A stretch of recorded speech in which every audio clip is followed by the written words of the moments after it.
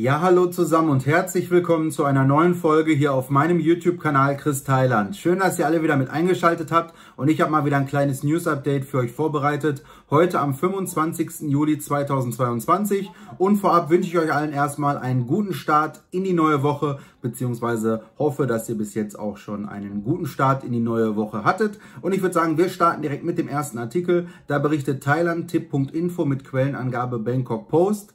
Bangkok bereitet sich auf die sechste Welle mit einem großen Anstieg der ausgewählten Infektionen vor. Bangkok. Bangkok bereitet sich auf eine sechste Welle von Covid-19 vor, da die Covid-19-Fälle in der Hauptstadt auf über 10.000 neue Fälle pro Tag steigen und das öffentliche Gesundheitssystem der Stadt bedrohen. Während sich Thailand allmählich von den Lockdown-Maßnahmen, Entschuldigung, Lockdown-Maßnahmen erholt, hat die Ausbreitung der neu aufgetauchten Omikron-Untervariante BA.5 Bangkok erneut in die höchste Alarmbereitschaft für einen weiteren Covid-19-Ausbruch versetzt.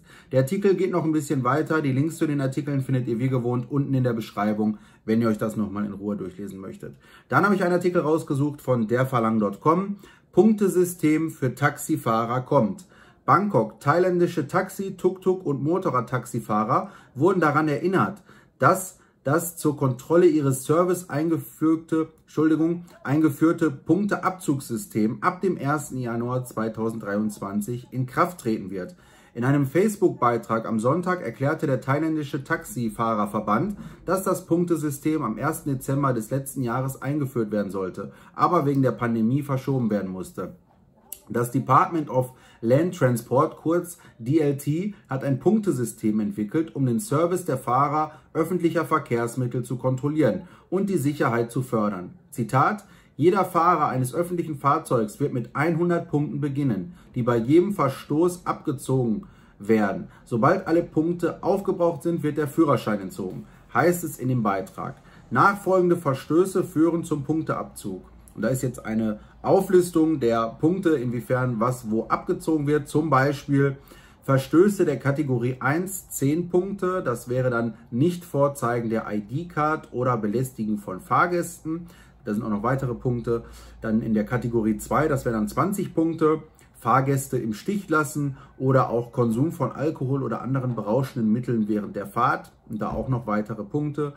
Des Weiteren Vergehen der Kategorie 3, da werden dann 30 Punkte abgezogen. Manipulation des Taxameters oder Ver Entschuldigung, Verlangung eines höheren Fahrpreises als vorgeschrieben.